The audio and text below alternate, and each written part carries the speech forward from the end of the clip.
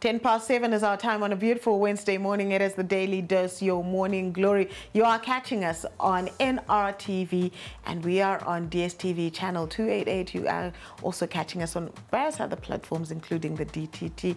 Welcome to it. This is our I Need a Doctor segment.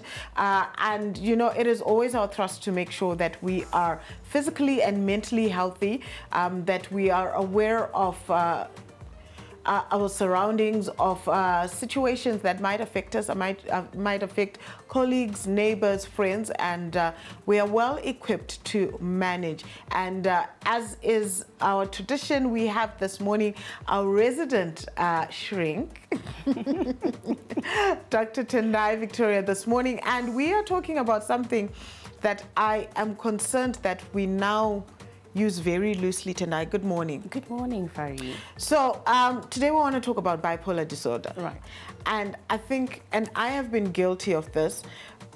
And when you said you wanted us to talk about this, I really had a pause moment Okay. because I realized that a lot of us now use it very almost offensively. Right. So uh, if somebody happens to be in a bad mood or somebody behaves out of character, ane bipolar. It's chi as ane bipolar. So we've ta what's the word? Tari visa chiremera sort Right. of. And it almost feels like we're ridiculing those that are actually uh, going through and dealing with this condition. So, for the purposes of those of us who have been ignorantly throwing the term around, please explain to us what bipolar disorder is. Okay. I like what you said before, though, Farai. Uh, I agree with that totally. A lot of people have, you know, have been so guilty of, you know, just loosely using, you know, bipolar, you know, and stuff, especially for.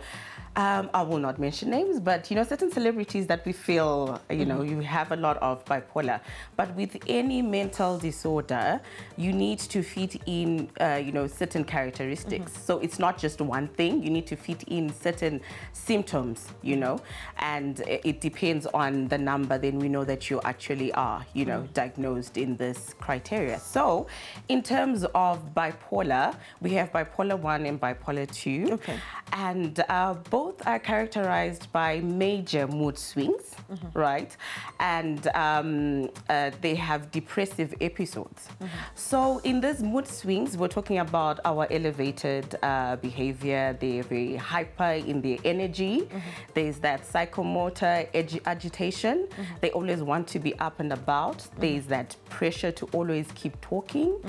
Um, there's no need for sleep. They feel quite rested after only about three hours of, Wow. of sleep. Eh? And I know that there are a lot of um, parents who are struggling with children because sometimes with bipolar, it can be triggered by drugs, you know, or alcohol use, and their children are always up. You know, so then you know we can uh, consider bipolar.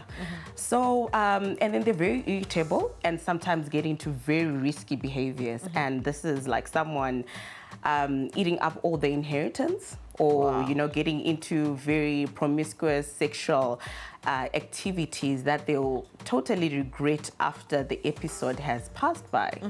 And um, so once they hit that high um, and with mania um, they'll have about um, it will last about a week Wow. and then with hypomania, which is bipolar 2, will last about four days. And then they hit an all-time low. So once they, they've gone up, then the next minute, you know, we're noticing, you know, they're depressed, you know. Uh, they don't feel like going outside or doing, uh, you know, the activities they used to find uh, pleasurable. They're isolating, they're feeling very hopeless, and sometimes can be very suicidal. So hypomania is is where it's a dip in mm. all the other things that you you've spoken about. So where it mm-hmm. was excessive sleep, it's now more sleep. Okay, so hypomania and mania, mm-hmm. we're talking about how they reach their low. They, I'm oh. um, sorry, they're high. Oh, This is when they do not feel like sleeping. Okay. Yes. So the difference between mania and hypomania is just in the duration, but they have the same symptoms. wow. Yes. So our mania has about, uh, it will last about a week, and our hypomania will last about four days. And then after that, they'll hit the all-time low Then when they they, to the depression. It's literally depression after that. Is there Because I'm, I'm imagining how difficult. Is there a, a gap? Is there a period of, um, for lack of a better word, normalcy where they're functioning uh, from day to day, or is it just constantly a transition from the high to the low? Is there, I hope, a rest gap where they're functioning as normal? Okay. And if so, what then triggers the high? Okay. So, unfortunately, with a bipolar, this is a lifetime disorder.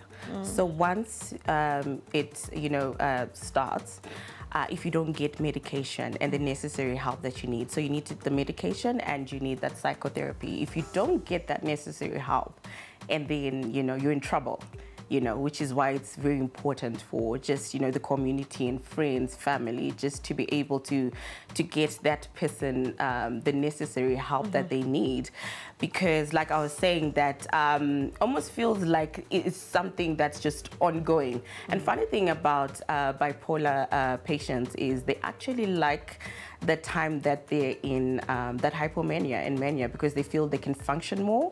You know, their They're brain is more. very alert, they're very creative. So you have some who actually know about their condition, right, and are taking medication and will um, deliberately stop taking medication so they may function at their highest. Wow. Yes. And that, that seems dangerous. though. Very dangerous. So, um, in terms of treatment, you did mention medication. Um, is medication the only form of treatment? What does the treatment regime for somebody with bipolar look like? Okay, so um, we usually like to make sure that uh, someone is getting not only medication but also psychotherapy because with mental health issues, once you're just medicating, you're not really dealing with the reason behind um, you know the issue, and. Um, we want to uh, psycho use psychotherapy in terms of you know talk therapy um, for like we'll use something like cognitive behavioral therapy for someone who has now reached the depressive stage in their bipolar condition and help them deal with that. And then when they're in their highs look they, they get psych, uh, psychotic you know in this stage. They hallucinating. They have lots of uh, delusions of grandiosity where they feel like they're the messiah or someone very special you know i'd like to actually um, consider that for you know that doctor in south africa Yes, please. Can we, Dr. Matthew? we will discuss that another time. But um, there were definitely delusions there where he really felt that, you know, he, It- he in was his a doctor. mind, it was true. It was true. So, you know, you have that with uh, bipolar patients where in their highs, you know, they have those delusions where they can feel the, like, look, they're the first lady, they're married to the president, and, you know, all that. And you can't bring them out of that. That's what they believe. So, in those cases, then medication is very necessary. And then remember, they're uh, struggling to sleep. So they need we, they need the medication that will help them with that, you know. And you know the different medications. There's lithium that they can take, carbamazepine to help them sleep, and so much more. But uh, like I said earlier, we like to also use psychotherapy so that we can deal with you know the deeper issues that they're dealing with. All right, I'm going to take you back a little bit because we've just spoken about treatment. Um, but how do you, because we've seen all these symptoms, right? Right. And there's somebody, because this is what we do, we self diagnose. Somebody's ticked off and they, they've suddenly decided, okay, I think maybe I'm bipolar. Although we do know that some of these uh, symptoms also um, cross uh, relate with other conditions. So, what is the process of diagnosis? How do you, if I present myself and say, listen, I've seen some of these things that were said about bipolar, I feel this is me, what is there, are there specific tests, are there scans that are done? How do we get to a bipolar diagnosis? Okay. To be honest, um, we're very highly unlikely to get someone come in and actually say, um, you know, I've got these issues. Usually, it's because um, they're failing to function in society. They're getting in trouble with the law. So they're in this episode. So we usually have people bringing, whether it's a relative or their friends uh, or an employee that they feel is out of control or out of their mind. So they bring them in, and um, usually sitting down and speaking to someone who's in that hypomania or mania episode is almost impossible mm -hmm. because you know they're so agitated they're moving up and about so distractible so we will rely on the information that we're given by um, whoever has brought them in mm -hmm. and we're able to notice that no this is definitely bipolar you know with certain uh, screening of you know questioning and how long you know durability how long has it been going on for then we know okay what exactly are we dealing with here? Uh -huh. So yeah. All right. Um, and then, you know, I think part of uh, why we have not seen a lot of people, like you said, uh, Wakawanda are brought by friends and relatives. Mm -hmm. But then we also have the other side where we see all these things that you have spoken about, the mm -hmm. sleeping patterns, and then coming back down into uh, de de uh, depression. And we've seen it with uh, workmates. Mm -hmm. And it comes down to anonetsa, anodada, right.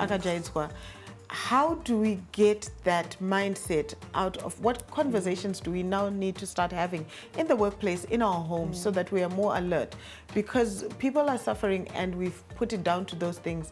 Anonetsa, akajaidzwa, anodada, animamoods. What, what conversations do we need to start having? Okay. I think what the society uh, needs to push for, especially I'll speak about uh, Zimbabwe, is to be aware and uh, appreciate and accept that mental health is health. Mm -hmm. right? And that people are dealing with a lot of things. Um, certain people have stuff that they have um, been born with, you know, hereditary issues, you know, genetic issues. And uh, I think we just need to appreciate that. And some are just dealing with a lot of trauma, stuff that has happened to them in their childhood. Mm -hmm. And to accept that and not be so quick to judge. Mm -hmm. And I think, you know, the government needs to work more and a lot on um, just uh, destigmatizing um, mm-hmm. mental health and uh, psychoeducating the, uh, the nation, the communities, the schools, the same way we did with, with HIV. Mm -hmm. You know, it even went down to our chiefs, -hmm. you know, destigmatizing it with, you know, just, you know, the general communities in the rural areas.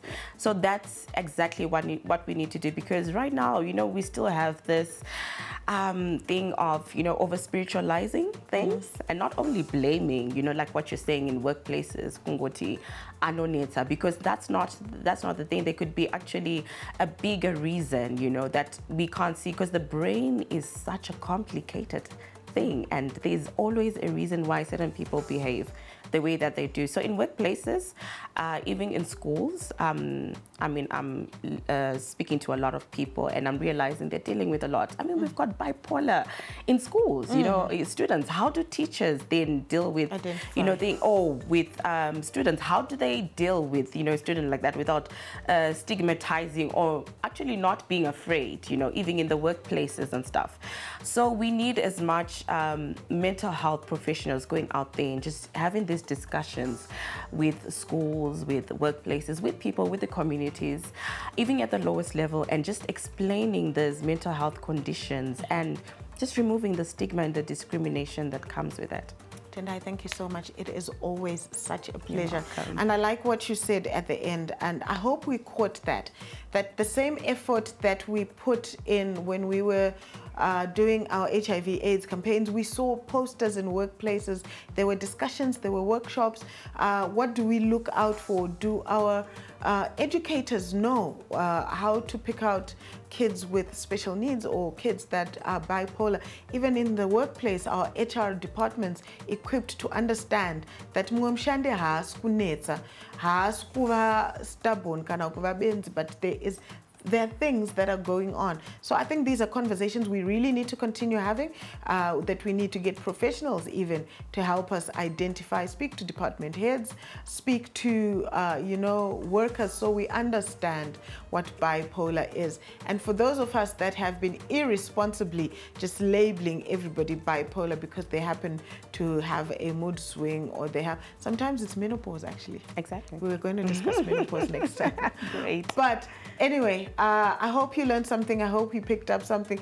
Always grateful for Tendai uh, for coming through and sharing her invaluable knowledge with us. And we hope that you pick up on something. We head to a break, but don't go away. When we come back, the Weird and Bizarre Awesome is back because we're going to be doing Weird and Bizarre.